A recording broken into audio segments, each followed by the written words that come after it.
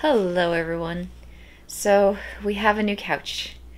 We've had it for a couple days now. I I like it so far. I've got a bunch of pillows here that I'm leaning on, so hopefully that'll help me. Hopefully that will help me breathe as I'm doing this video because I'm anticipating that at some point midway through the video I'm going to start to get really out of breath and I don't want to have to be trying to reposition midway through, so this is where we're at. I actually have notes for this video this time. Hopefully that will keep me on track. I've got a lot to talk about. I'm going to be doing a response to this video that uh, Buck Angel put out, where he talked with a lady whom he identified as Eve, so I'm going to be calling her Eve. And they talked about some stuff that I think is really important, but I think it's also very important that I do a response video and just add some commentary to kind of flesh out some of the subject matter because they were covering a lot of information. And when you cover a lot of information, sometimes it can be helpful to, you know, just make sure that everybody's on the same page because there was a lot of new information. It was actually really delightful listening to it because I always like something that feeds me lots of new information, and uh, it definitely did that. So, jumping right in at 6 minutes and 30, because I've got my notes here, uh, she was talking about AGP and AAP deepening and intensifying as you feed into them. Um, I've heard this before, and I, I have not really experienced it, and perhaps that's because I just don't consume a lot of porn. Because she talked a lot about porn and how porn consumption kind of really deepens these these sexual fantasies.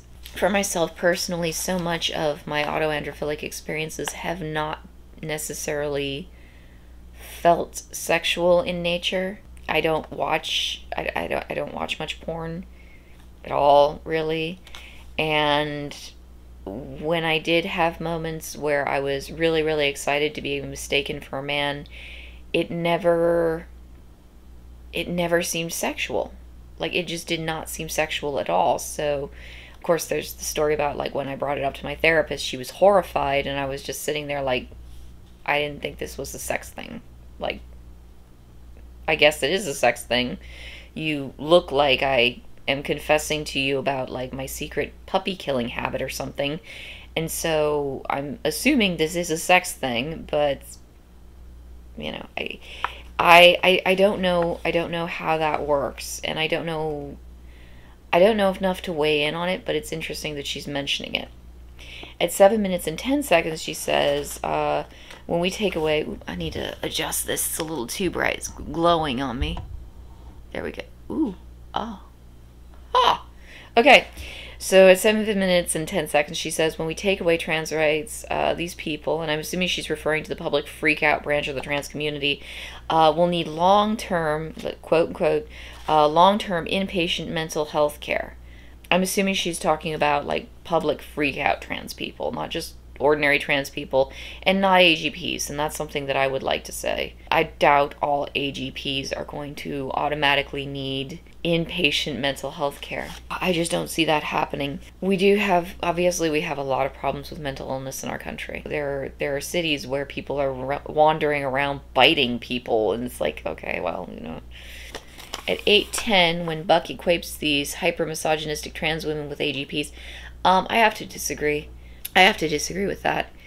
And Buck isn't the only one doing it. I think every prominent, either conservative or centrist trans individual, like every public figure who's transgender, has come out at some point and said, yeah, it's those AGPs that are the problem. I can think of I mean, Brianna Ivy did a video about it. Blair White has talked about AGPs a few times. Marcus Dibbs talks about AGPs. AGPs and AAPs. It's like, oh well, they're not really trans. They're, you know, they're they're fetishists, and that's how it keeps coming across. That's how it keeps getting communicated. It's like, well, there are real trans people, and then there are AGPs, and I just I don't think it's that simple.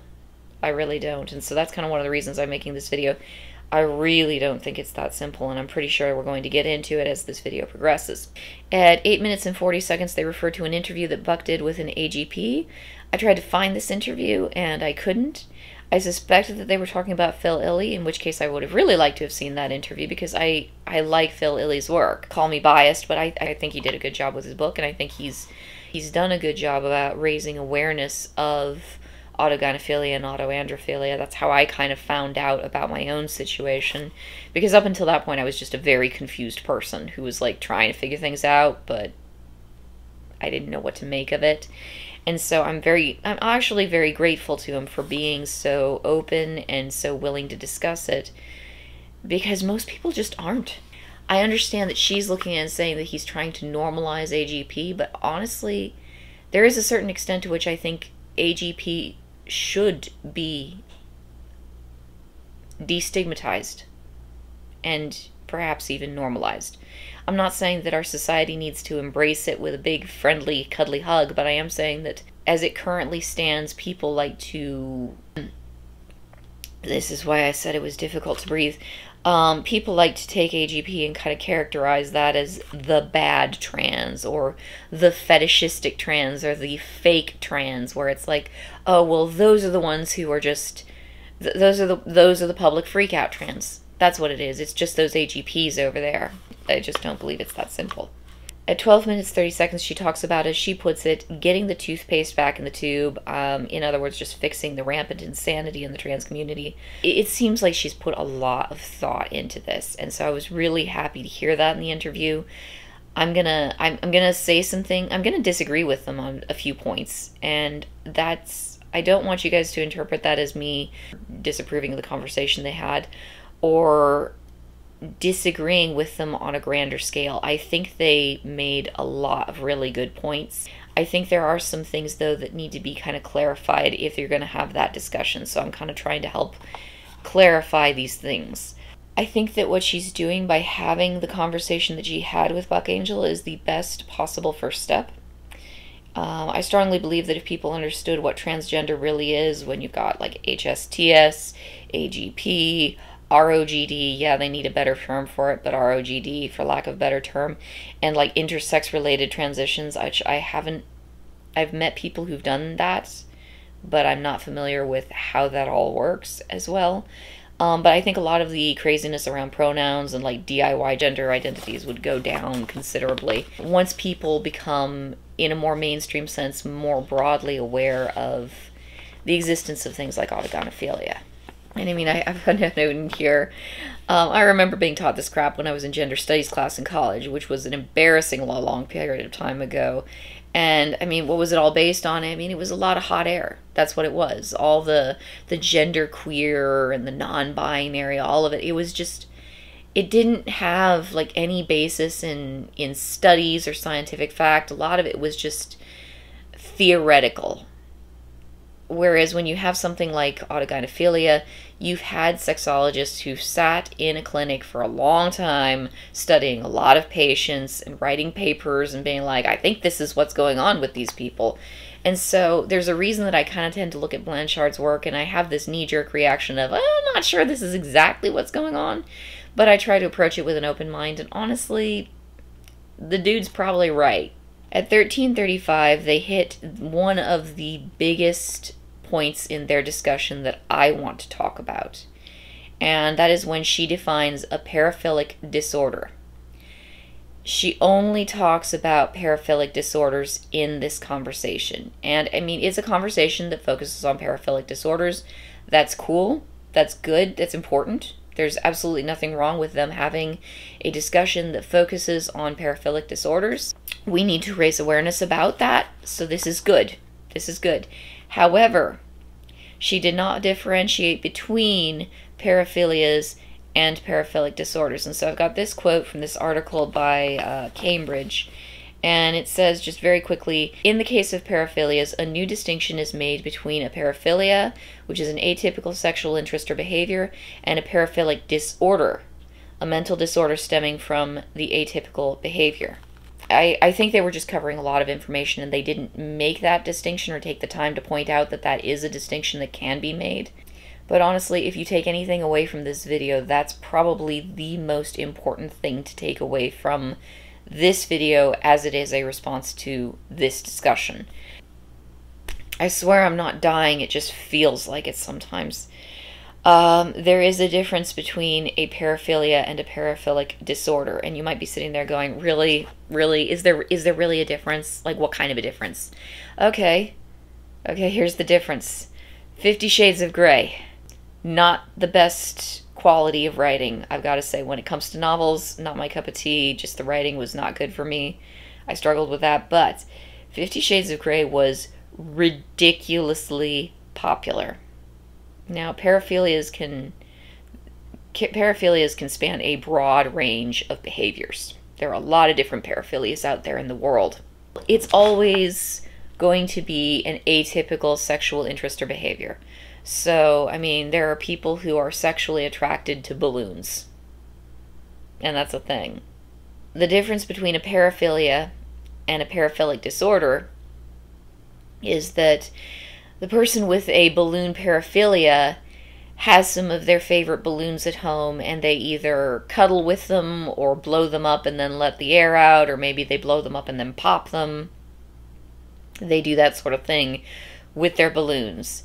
The person with the paraphilic disorder can't control themselves around balloons and has problems in their life because they get excited by balloons to the point where they they're experiencing problems in their day-to-day functioning. And that's an oversimplification. So what does that have to do with 50 Shades of Grey? Well, 50 Shades of Grey was massively popular. What is 50 Shades of Grey about? Well, it's kind of sort of touching on the subject of BDSM. The number of people who were titillated by that is just huge did it do a good job of communicating what BDSM is in like real life practice?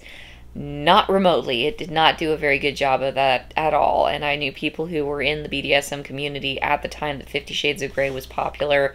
And they bought copies of the book to read it because it was like, okay, what's this about? And it was just so bad. Like, it did not portray the community realistically at all, but it was a fantasy story and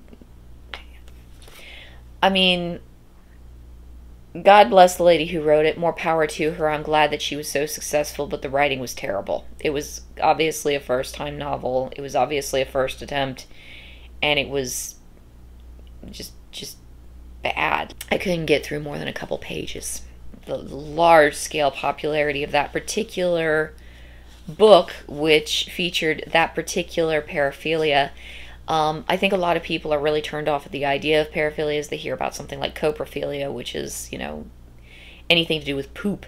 And they they think, okay, so these people are all nutcases. And it's like, well, it's not that simple because Fifty Shades of Grey was a really big deal. Like, y'all can look at it and be like, oh, that's gross. Paraphilias are gross. And people who have paraphilias are crazy. Yeah, okay, fine. Um, is that a copy of Fifty Shades of Grey on your shelf? Well, that's not mine, really, because someone has read through it until the pages are starting to get worn down in the corners so someone clearly enjoyed that book. Well, it's a secondhand copy. Yeah, I guess must have been because damn, you know that's that's kind of what I'm talking about. There's a lot of people who like this stuff who maybe don't feel comfortable admitting it, but it's a lot more. I think it's a lot more prevalent than people realize. Um, as an interesting side note, if you are going to look at AGP as a paraphilia instead of like and, and I mean that that is one way to look at it as a paraphilia. If you're going to approach it in that way, then you can you can take that and apply it to the pronoun game and come up with some really funny results. Uh, for example, if you take BDSM terms like master, no practicing member of the BDSM community, no no sane one at least, would go out in public and demand that their coworkers or maybe their wait staff at the restaurant refer to them as master. Like that would obviously be very sexual and very inappropriate.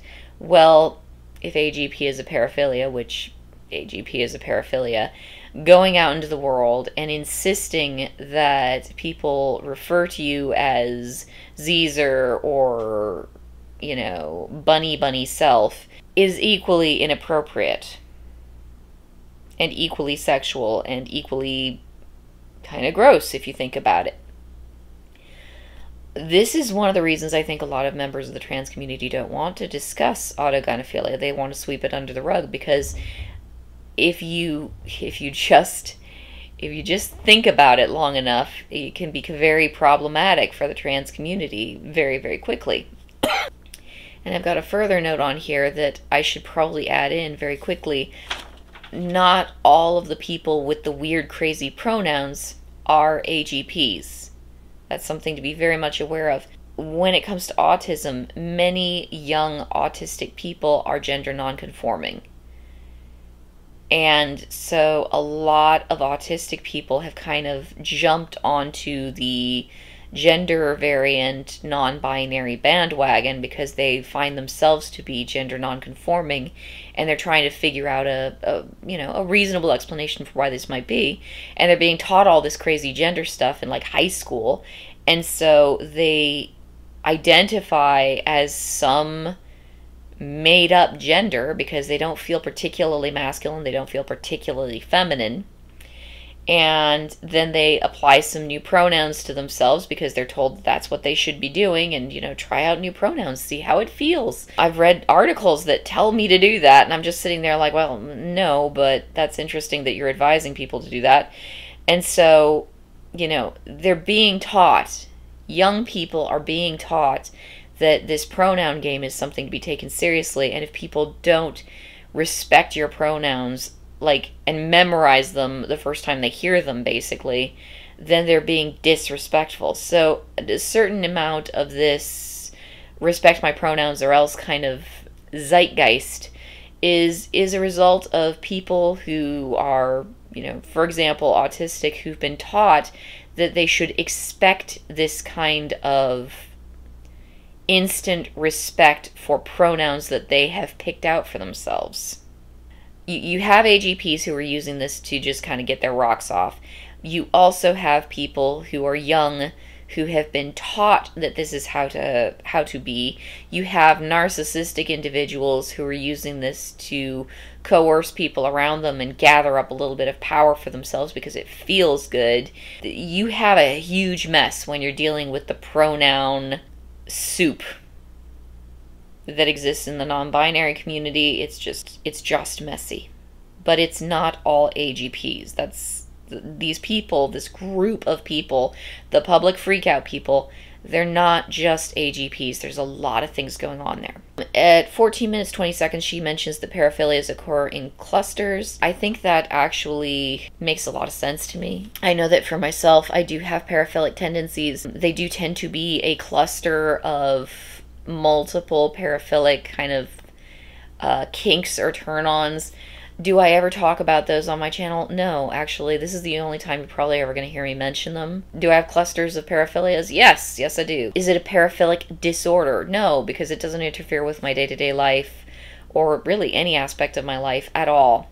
And honestly, I would say when it comes to my sexuality, um, my autoandrophilia isn't even the biggest in that little cluster. It definitely doesn't seem to be the most a strong influence in my sexuality, which I thought was kind of interesting because autoandrophilia seems to much more affect my day to day life, my day to day behaviors, elements of my life that I would consider to be not sexual at all. That's where I see more of my autoandrophilic side. In the bedroom, I've got other things going on, which, again, um, between two consenting adults, exist and it's no one else's business than that. So, moving on. this is one weird thing about deciding to talk about uh, about autoandrophilia. When I first started talking about it, when I first came out about it, the number of people who have made really wild and very weirdly inappropriate um, assumptions about my sex life. I kind of, I guess I understood that that was probably going to happen but it's been weird. Like, people are guessing I do all sorts of things in the bedroom, and it's like, how is that any of your damn business? Just, just saying. Um, I've got an article here on kink and intelligence that I need to go over. Of course, it's not my notes. It's not my notes. So, interestingly, there is a correlation between kink and intelligence. And when I say kink, I mean paraphilic behaviors and intelligence. There was a there was a scientist who studied it. The problem is it's really hard to do good studies of this. However, it's been a repeating kind of theme. It was something that I knew about and was aware of like a decade ago when I was hanging out with a bunch of the BDSM crowd. There is a um, a correlation and so when everybody's always pointing out, like, oh, these people are just mentally ill, because there's a lot of people, especially lately, who've been approaching me and saying, well, this is just a mental illness. No, it, sex is. Sex is, among other things, not just a physiological activity, but a mental activity. And so if a person is of a higher intelligence, and I mean, we're talking like more than a standard deviation higher than the norm, they're going to seek out some additional stimulation. And what they found, and I need to post this little quote up so that you can actually see it from the article. And this is only one article, so I mean, fact check me, please. I, I would actually appreciate that. This was all very cursory, like, research the lady in the lady in this in this interview she's done a ton of research. Me i spent a weekend reading up on papers and asking questions in google. So yes please do fact check me. But um, when it comes to intelligence uh, the article was talking about how this particular um, scientist he worked with sex offenders because a lot of the inf- a lot of the information that we have on paraphilias, a lot of the research that is done on paraphilias, of course, is dealing with sex offenders. And oh my God, how do we stop this? You know, this is abnormal, so how do we stop it? They're not interested in the person who cuddles with balloons when they're at home in their apartment. They're much more interested in pedophiles and necrophiliacs and rapists. They're trying to figure out what that is because that's actually a problem. Balloon guy at home, cuddling his balloons, not bothering anybody. Nobody cares because it's not a problem. It's not disruptive. Again, the difference between a paraphilia and a paraphilic disorder. One of these things is disruptive, the other is not. Yeah, when it comes to consensual paraphilic behaviors, people who have arra- who've made consensual arrangements to interact with other people and do these behaviors together have higher IQ on average. People who are sex offenders with paraphilic disorders, on the other hand, actually have a lower than average IQ. And that's kind of interesting.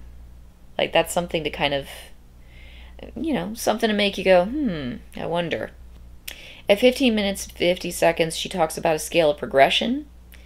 And when she talks about this progression that I'm assuming she's talking about paraphilic disorders, where it ramps up, it ramps up, it ramps up. The individual who's suffering from the disorder steadily becomes more out of control of their behaviors, more out of control of their thoughts and fantasies, more out of control of the entire situation, and, you know, frequently more alarmed by it. That makes sense of paraphilic disorders. Me sitting over here with a paraphilia, I mean, I, I'm 37 years old. I've been like this for a really long time. I have not personally noticed in my own behavior any kind of a progression. And then the question is, well, maybe I'm just not feeding into it because she talks about porn and avoiding porn and how she hasn't fed into hers.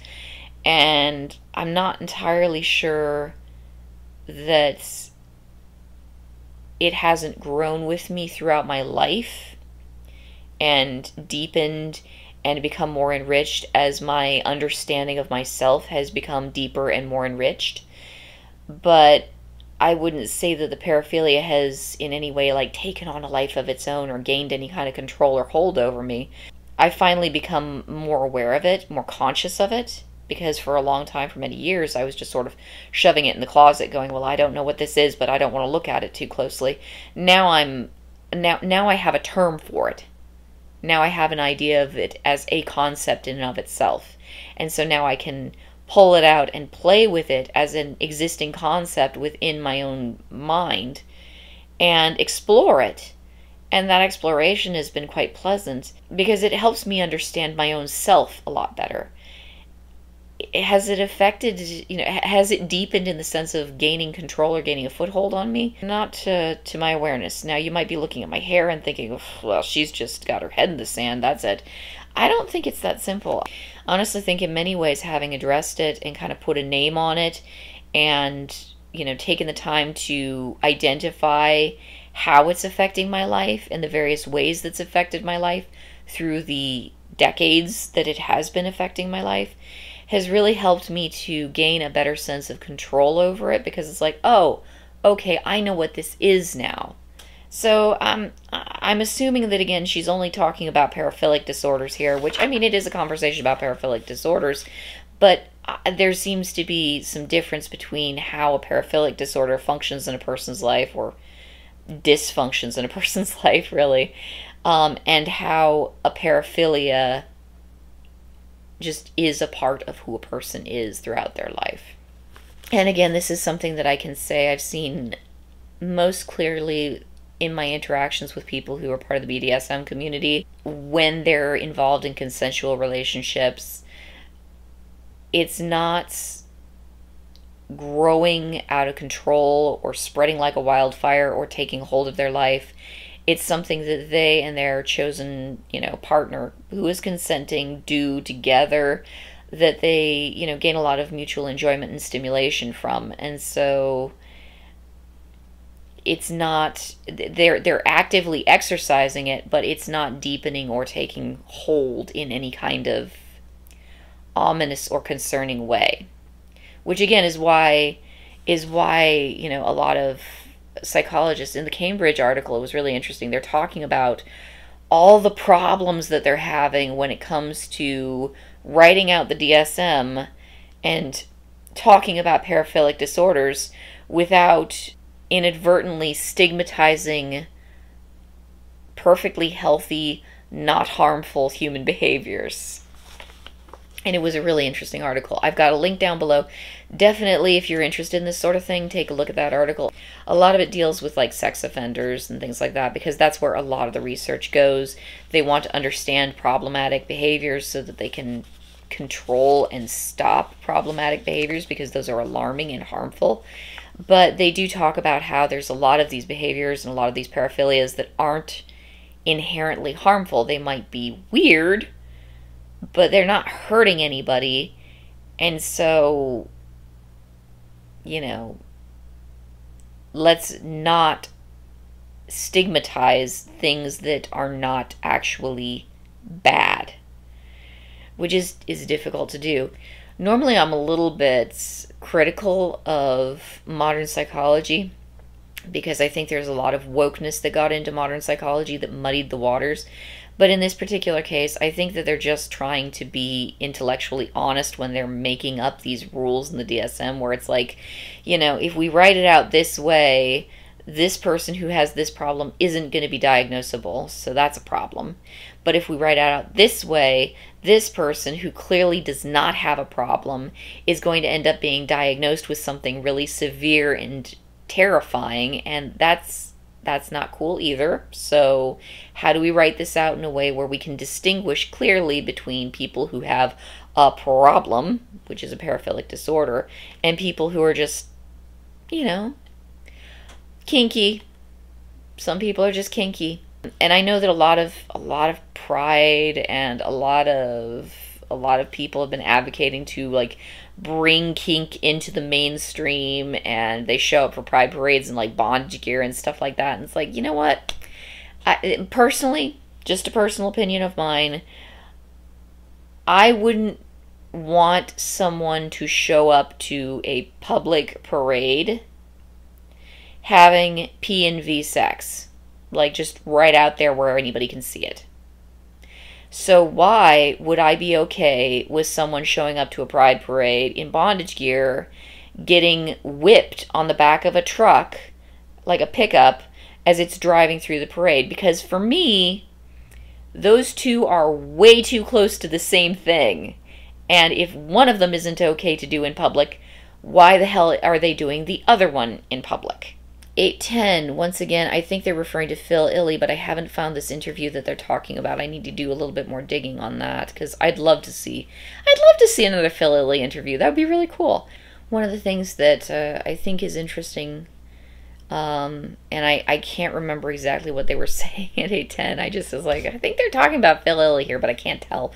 I think when it comes to autoandrophilia, like, I mean, there, there are other things going on for me and luckily, I found a partner who was, you know, very, very accepting of me and my unique quirks and isn't bothered by my quirks. And so the two of us have been able to maintain a really healthy and mutually satisfying relationship and I can be weird and that's cool. so that's that's very important. But um one of the things that I notice is like the things that affect me in the bedroom, you know, most intensely are not things that come outside of the bedroom. Autoandrophilia, on the other hand, is something that follows me everywhere I go. And you might be sitting there saying, well, that sounds like more of a paraphilic disorder, but it's not like it's I, I was trying to think, okay, well, are there any ways that it's negatively affecting my relationships with other people? Because when I do make friends and I'm being very much myself, so, you know, being a little bit more tomboyish, a little more autoandrophilic. I used to joke with people that I wasn't a woman because I thought that was funny because I was tired of people trying to treat me as this like stereotype of a woman. And so it's like, dude, I'm not a woman. Like, it's that simple. Just that that that explains it all for you right there. It simplifies everything. Um, and then I found out that I was an autoandrophile. It's like, well, that joke didn't age well. Ooh, has that interfered with my ability to form healthy relationships with other people? No. The only point at which my autoandrophilia really became an issue, and I'm not sure that it was an issue socially, was when I was dealing with my creepy coworker that I had to report for sexual harassment.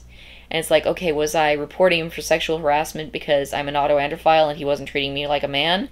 Or was I reporting him for sexual harassment because I'm married with kids and he wouldn't stop hitting on me? And then when I refused his advances, he tried to get me fired twice. I'm going to go with option B there and say that the problem probably didn't originate with me. 1825 is Buck and AGP. That's something that came up and i mean it, it's possible. I don't want to i don't want to sit here in this video and be like oh yeah i think he is or oh i don't think so. I don't want to make conjectures about other people's sexuality unless i know them really really well and i'm like having that discussion with you know more or less their blessing. Because I mean, I, I've got enough people making all sorts of weird assumptions about my sexuality. I don't want to do that to anybody else. But one thing that I will say is that I've seen a lot of trans YouTubers, uh, trans commentators who aren't necessarily like big name trans commentators. Like the big name ones, you kind of start to recognize them. They're pretty. I don't know a better way to say it, but they they've transitioned and they look good and they're public and they're you know they they look the part really really well. And then there are all these other ones who are kind of a little bit more underground who maybe are detransitioners or people who transition but then they detransition and then they retransition stuff like that. Um, they're much more quick to say oh yeah this public figure over here is an AGP. This public figure over here, clearly an autoandrophile. This public figure over here, also an AGP. They're quick to point that out, and they have examples of behaviors that do look. The problem right now is that autogynephilia and autoandrophilia are so stigmatized. They're they're absolutely demonized in the trans community everybody is very, very happy to take the public freakout trans person and say, well, that's just, that's an autogynephile. They're not a real trans person. They're over there in their own category and they're just a pervert and a fetishist. And that's the reason that they're acting like a complete fool in public. Um, and uh, no, that's not me. I'm not. I'm not one of those. I'm not like that. And um, I think it's safe to assume that frequently uh, there are people who are saying this who do not realize that they themselves are autogynephiles. I think that's safe to say because I didn't realize I was an autoandrophile. And the category is broad enough, and enough of the experiences that you can have as either an autogynephile or an autoandrophile are not,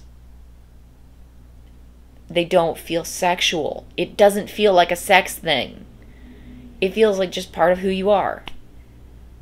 I'm a very effeminate man, or I'm a tomboy. That's just how I am. That's just me. That's just who I am. And so linking that up with, oh, is it a sex thing? It's hard. It's hard to make that that jump. It's hard to come to that conclusion. And um, it doesn't mean that it's not happening, though. At 18 minutes and 40 seconds, she says he's a transvestic fetishist anyway, and kind of laughs, and that's sort of the last that's said about it. And I'm sitting there watching this video thinking to myself, okay, what the heck is a transvestic fetishist? And I did eventually see the term. It's in the ICD 10, so not the DSM, different different diagnostic manual.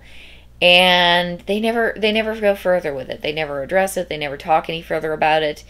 And I'm not sure that that's even I'm not sure that's even helpful if you're going to have a discussion about paraphilic disorders, which are bad and alarming in many cases, you need to actually have that parallel discussion of, well, these are the scary things, and these are all the not scary things. Because if you just leave people with the impression that the only things out there are the scary things, there's going to be a lot of very harmless, innocent, healthy, happy people who are going to be absolutely demonized for behaviors that are not pathological. So if you if you use a term like oh trans transvestic fetishist and I understand their focus in the conversation is paraphilic disorders, but if if you use a term like that and say oh yeah that's what this person is instead of having a paraphilic disorder, well, what does that look like? What is that? What does that mean?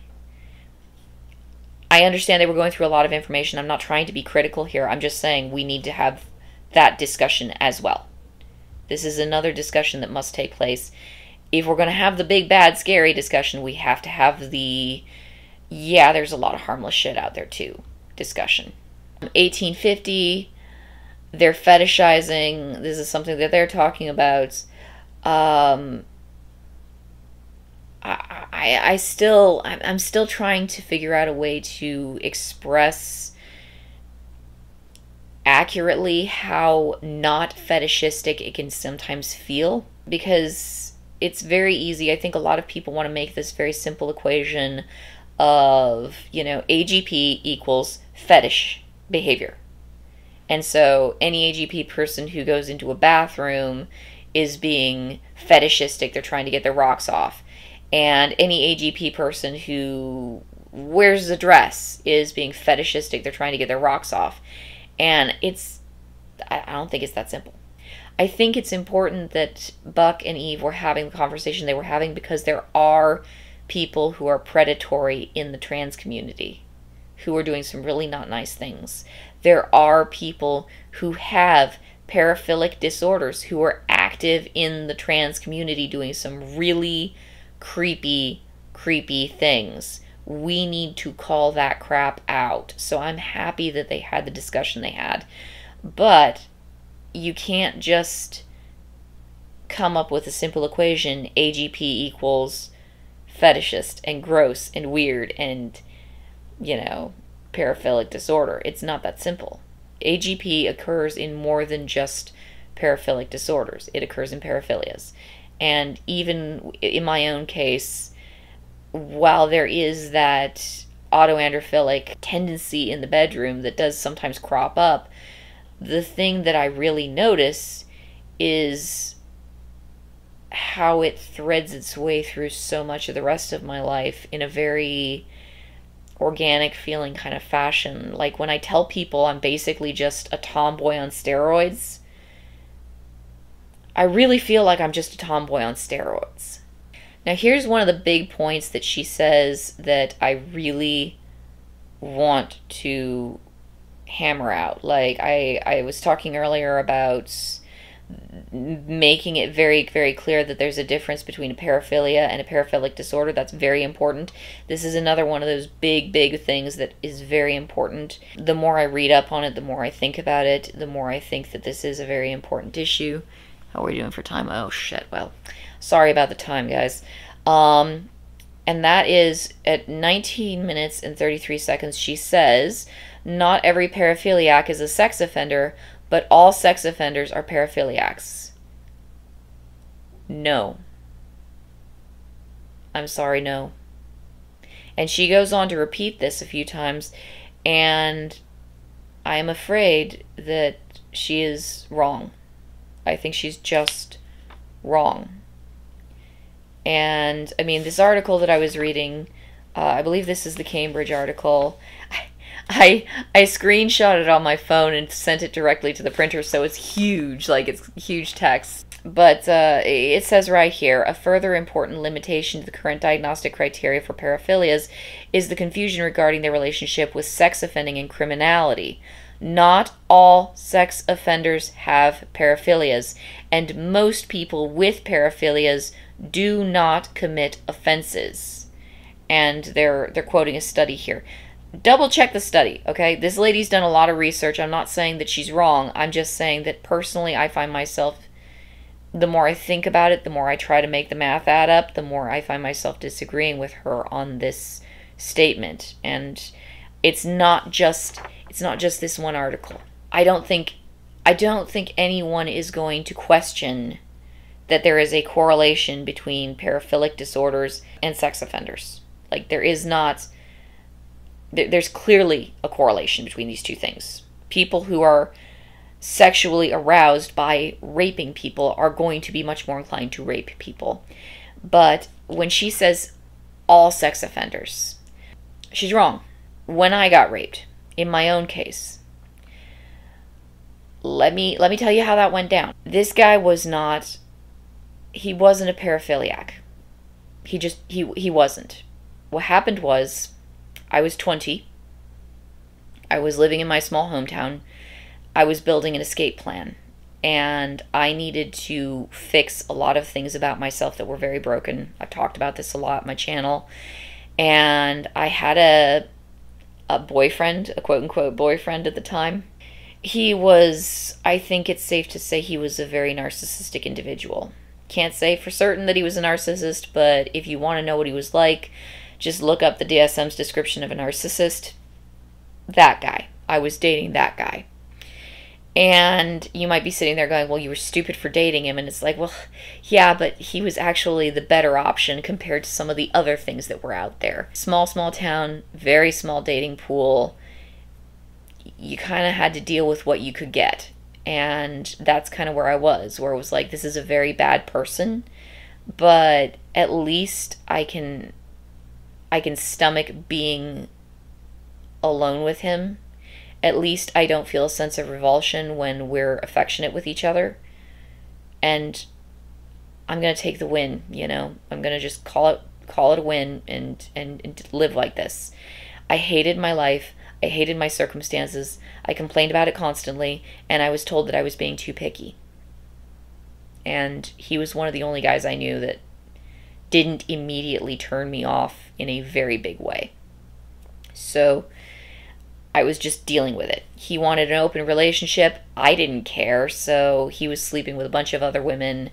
I know he was. He lied to me about it all the time because he lied all the time. And one of the things that made him interesting was sitting around picking apart all the lies that he told me because that at least gave me some intellectual stimulation while I was hanging out with him. Because everybody was weirdly boring in my hometown. And I had decided that I wanted to go to a strip club, become a stripper. And so, since we were in a romantic relationship, I went to him and I informed him of my plans. It's like, look, I'm going to be turning 21. This is what I'm going to do. This is why I need to do it. And, you know, I hope that's okay with you because I need to do this in my life. And he looked at it and he was like, well, you know, I'm okay with you becoming a stripper, but I'm a little concerned that you're going to start just sleeping with lots of guys. And that's not really okay with me. Like, I'm a little worried about that. And I told him, like, dude, that's not why I'm becoming an exotic dancer. I'm becoming an exotic dancer because I need to fix me because I'm really broken.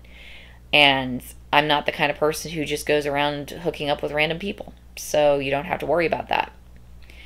And he seemed to accept that and he left it at that. And so I felt good about the situation. I talked with him about it. He seemed pretty okay with it. He seemed pretty on board with it, which meant that I was good to go ahead and he wasn't going to give me a bunch of grief for going to the strip club and being a stripper. So everything's good, right? But he's a narcissist and he lies constantly. So he looked at it, and this is stuff I've pieced together after the fact. He looked at it and realized that if he objected to me becoming an exotic dancer, that might cause some tension between the two of us. I might resent him. I might argue with him. I might give him some grief in that direction. So instead of telling me that he didn't want me to become a stripper, he wanted to show me why I shouldn't become a stripper. And so, shortly before my 21st birthday, he told me about this friend of his who, you know, just a nice guy, just needed someone to hang out and watch TV with. And I didn't have any friends. Like, that was one of the reasons I wanted to go to the strip club. It's like I work on an ambulance and I don't see other human beings for like entire week long blocks. And I need to be like at a bar somewhere where there are at least other human beings around me because I'm starting to develop social anxiety because I don't see other human beings and it's bad. So I'm going to go to a bar, I'm going to get a job at a bar, and it's going to force me to be in a public setting. You know, despite the fact that that causes me a lot of anxiety, it's going to force me to be in a public setting around people and try to readapt to being in society. because after months and months of working on an ambulance where I just didn't see other human beings, I was starting to go a little bit crazy. Like that, it, it wears at your sanity to be that heavily socially isolated. It is not healthy. And so it was wearing me down. That's one of the things. There was there were so many reasons I wanted to become a stripper. Like they were good reasons.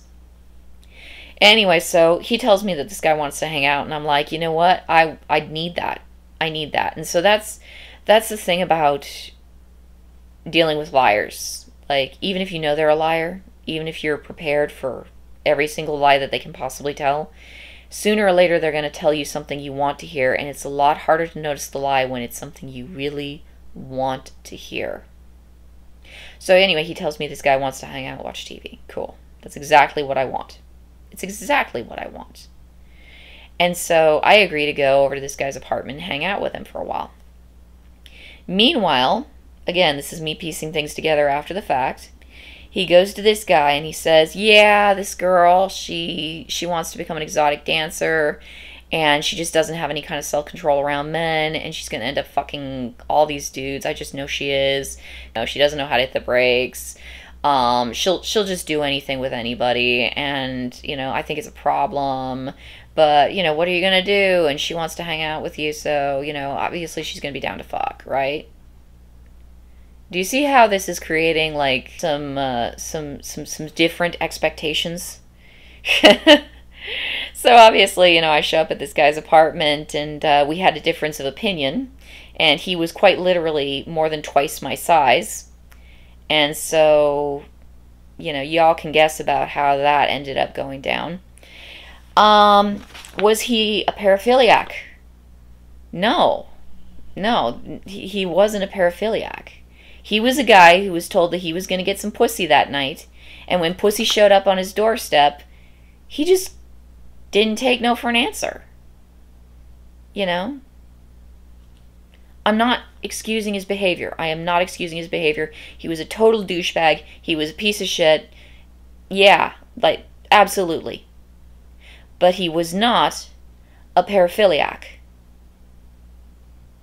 I'll give you another example. My creepy coworker my creepy coworker who tried to get me fired because I wasn't interested in having sex with him.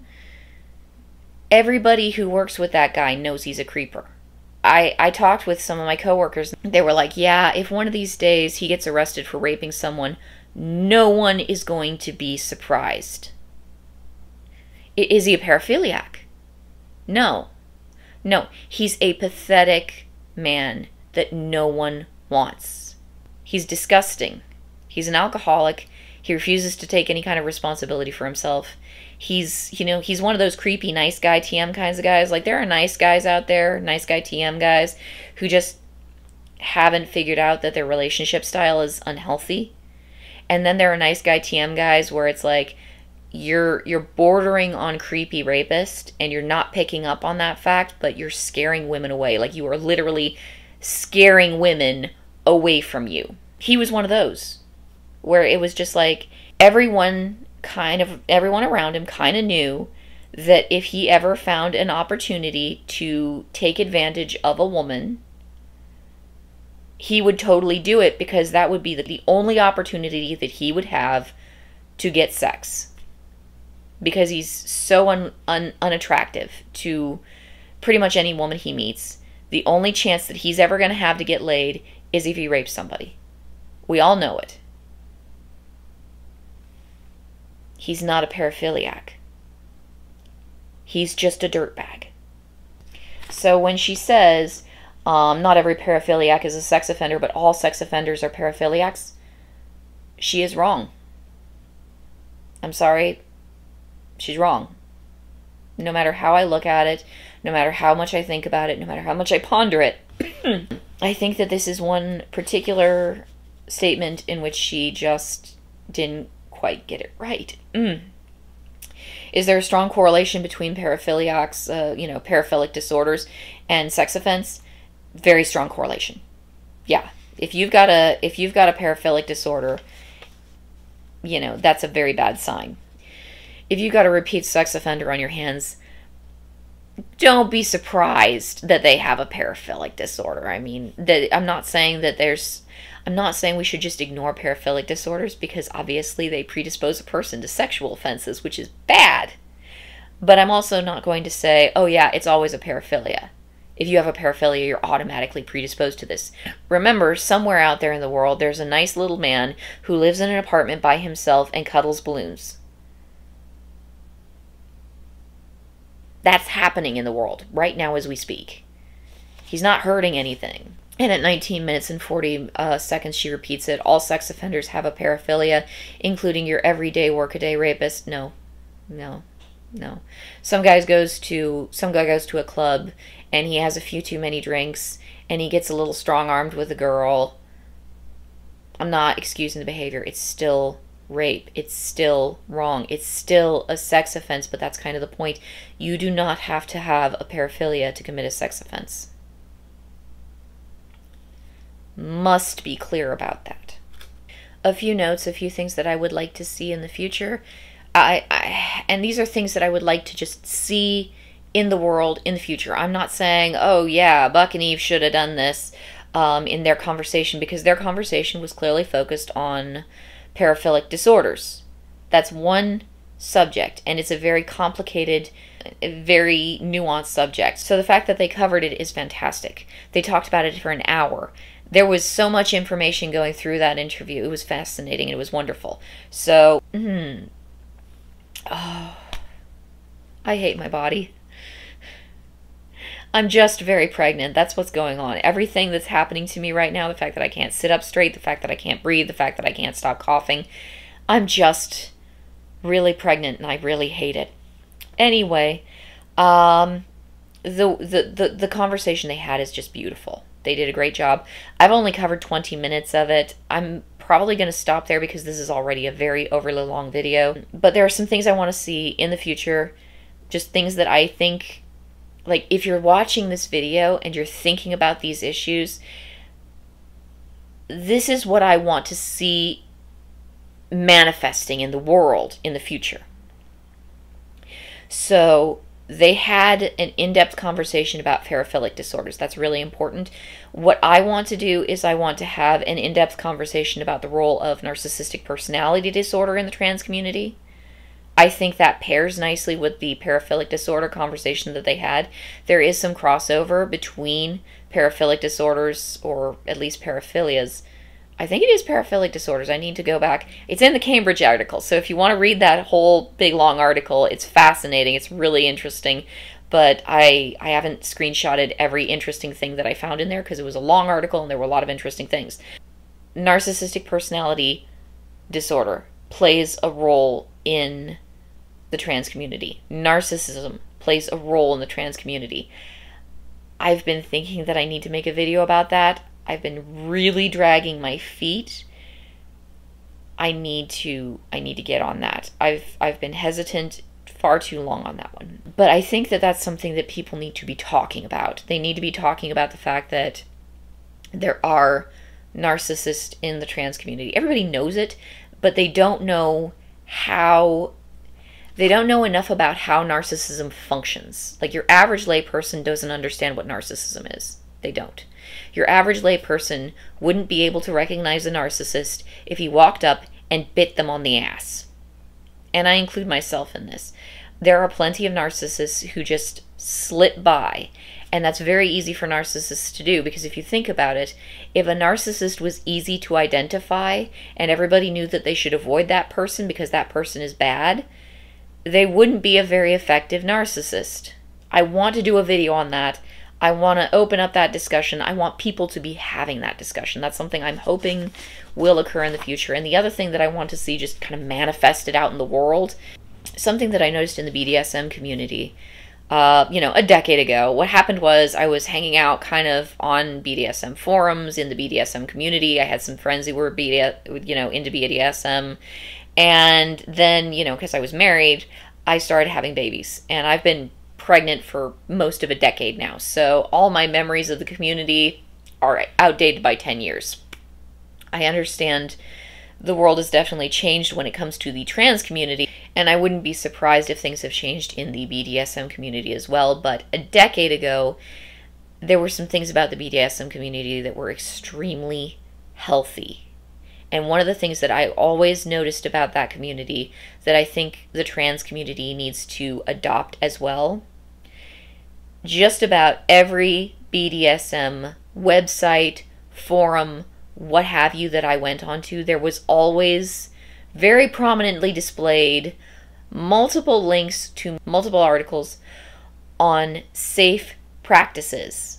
Now, obviously, if you've got something like BDSM where there's going to be, you know, whips and chains and ropes and bondage and you know possibly some suffocation and some sharp objects you you do need to have like safe practices obviously for the physical things but it wasn't just the physical things it was also safe practices within your relationship with your partner because and this goes back to the whole um, you know people who have paraphilias who can form consensual relationships tend to have a higher IQ. You can form very healthy, very strong, very stable relationships as a person with a paraphilia if you find a compatible partner. However, in a community like the BDSM community, that's not the only kind of person who's showing up in that community. There are also going to be people who are narcissistic, sociopathic, predatory in some fashion or another, manipulative, coercive, unhealthy, or toxic. So many articles, so many articles. Every forum I went to, there was always a, a link very prominently displayed these are warning signs to look out for. These are red flags to look out for. If you're meeting up with a partner and they start doing X or Y or Z, if they start acting this way right here or that way right there, you get out of that situation because that person isn't safe. So many warnings. And I loved that about the community because it's like it was a good community. It might still be a good community, but I haven't seen it in 10 years. So, you know. But at 10 years ago, it was a good community. There were a lot of really healthy people. There were a lot of people who were really, really committed to being healthy within that community. And I really, I really enjoyed that community because the, the overall spirit of it was very positive and very healthy which might sound strange to people who never really interacted with that community before. But one of the things that was just so gorgeous about it was the fact that they were very much aware that not everybody plays nice. And so we have to warn people. We have to we have to support people. We have to kind of tell people, "Hey, if you if you're getting a bad vibe from this person, you get the hell away from them. If you're picking up some red flags from this person, you get the hell away from them." You need to be safe because not everybody in this community is a nice person. Most of us are. Most of us are good people. But there are some predators who find their way in here every once in a while, and when they do, they can be very destructive. So we have to warn each other and we have to watch each other's backs and we have to be hyper alert to the possibility that someone who's predatory or toxic is going to find their way into our community if the trans community adopted this attitude, I think it would clear up so much of the shit that's in the trans community right now. If if we started doing this, I think it would clear up so much bullshit. And that's why I need to make a video about narcissism because you know, because what does the trans community actually know about narcissism? When's the last time that you were hanging out with a bunch of trans people? And I mean, obviously, I'm not really part of the community. So for all I know, they're trying to, you know, trying to mop up this mess, and it's just so vastly messy that it's like you got your little teeny mop and your little teeny bucket, and you're you're dabbing away as fast as you can, but it's not really doing much. But I don't see many conversations in the trans community about red flags to look for, narcissistic behaviors, and what those might look like, any of that stuff, and the trans community needs that stuff. They need it in the same way that the BDSM community had it 10 years ago, where it's everywhere. Every trans forum you go to, these are red flags. These are things to look out for. This is what coercive behavior looks like. Do not let someone manipulate you. Do not let someone mistreat you.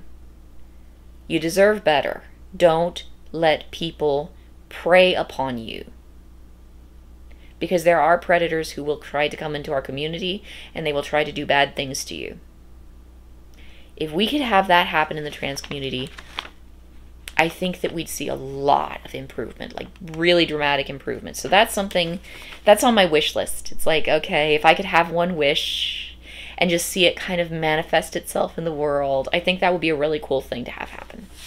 And so that's something I think having having worked on this video, having taken all the notes for this video, having like read up on some of this stuff, I think that's something that I'm going to start pushing for in the future is raising awareness of narcissistic behaviors and trying to help inform the trans community.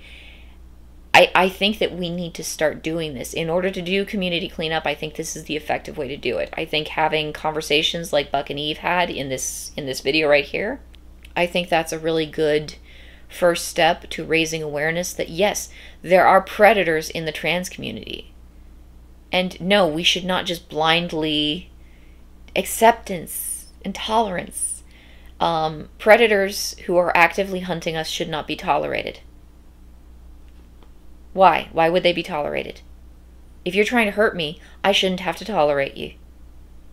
So I think that we we need we need that awareness. I think we need to start spreading that awareness. And I think that's going to be really good for all of us.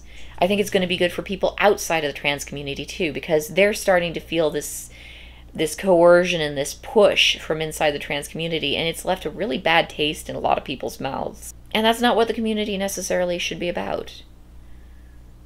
I think we all deserve better. And so let's build better. I think that's everything. I think that's all my notes. I kind of rambled a bit, but I think I pretty well covered it. Um, that's only 20 minutes of the video. Like they did, they, they talked for over an hour. So I've only covered like the first 20 minute slice. It's a really interesting video. I obviously some of these things were just concerns of mine. Uh, the two big ones being there is a differentiation that should be made between a paraphilic disorder and a paraphilia. Not necessarily the same thing. Very important to distinguish between those two separate things.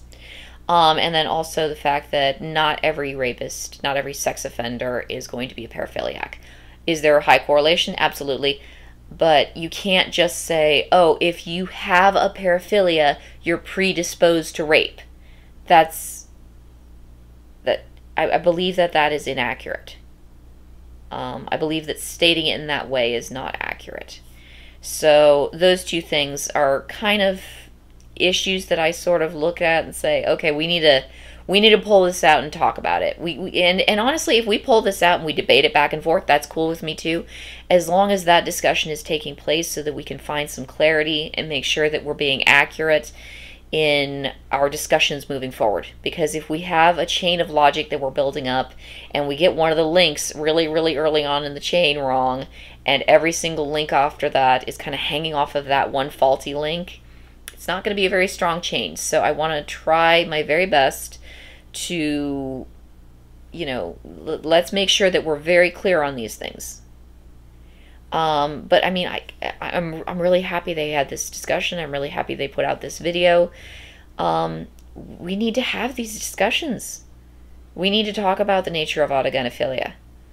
We need to talk about the role of narcissism in the trans community. We need to talk about the dangers of paraphilic disorders. Um, I'm going to cut the video off right there. It's way too long as it is. Half of it is me just hacking up a lung, so I can at least edit that out. Um, I hope you guys are all having a wonderful week, and I will talk to you guys later.